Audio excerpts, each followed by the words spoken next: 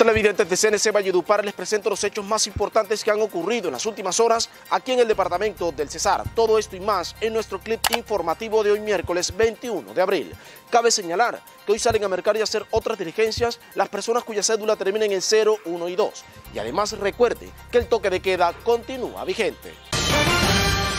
El departamento del Cesar continúa en alerta roja.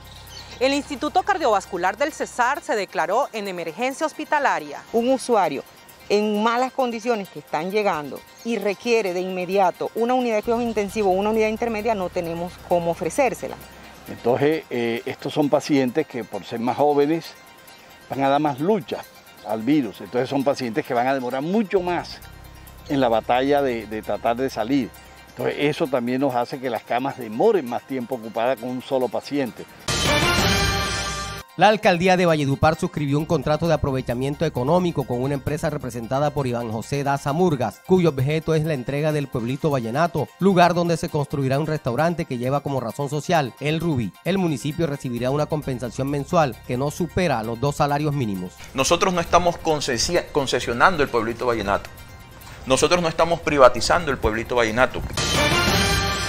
Tras la captura de Carlos Alfredo Escobar, sindicado de herir en el rostro a la joven administradora Nailín Morón el pasado 12 de abril en medio de un atraco en el barrio Arizona, el abogado defensor del procesado, Luis Alfonso Freite, aseguró que esta persona es inocente y que hay evidencias que lo demuestran. Porque en el momento del 13 de abril a las 6.50 de la mañana del 2021, Carlos Alfredo se encontraba en compañía de seis obreros más como él están desarrollando una labor de albañilería desde la Semana Santa en Valledupar a un empresario reconocido de la ciudad en su edificación. Pero además de ello, ese fulminante prueba que es el video donde él ingresa, donde están las imágenes de la obra que se está construyendo y no solamente de ese día, días posteriores y días anteriores.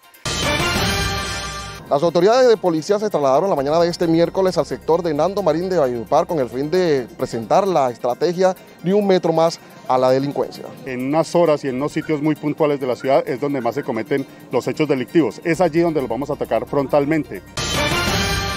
Hay luto en el periodismo cesarense. A causa del COVID-19 falleció el comunicador deportivo Víctor Cobo Solano, quien desde comienzo de los años 90 ejerció su labor en diferentes medios de la región, como Radio Guatapurí, La Voz del Cañaguate, Macondo Radio y RCN.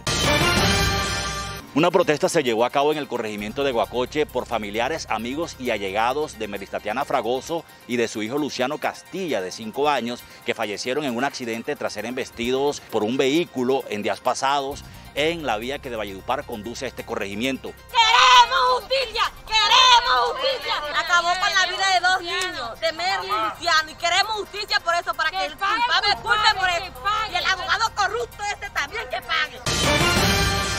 El secretario de Gobierno departamental Eduardo Esquivel fue el mediador en las relaciones entre el alcalde de Pueblo Bello, Danilo Duque, y el cabildo gobernador de los Arhuacos. Las partes se comprometieron a limar asperezas y trabajar unidos por la comunidad. Acercamiento total logrado por la Secretaría de eh, Gobierno en nombre del gobernador Luis Alberto Monsalve. Un hombre fue hallado muerto mediante asfixia en la calle 5F con 45 en el barrio El Nevada en Valledupar la mañana de este miércoles. Se trata de Harold José Farelo, quien registra lesiones causadas al parecer con una cuerda a la altura del cuello y manos. El antes mencionado habría sido lanzado por sujetos que se movilizaban en una motocicleta. Farelo habría recobrado la libertad hace aproximadamente 15 días, señalado por el delito de porte ilegal de armas de fuego.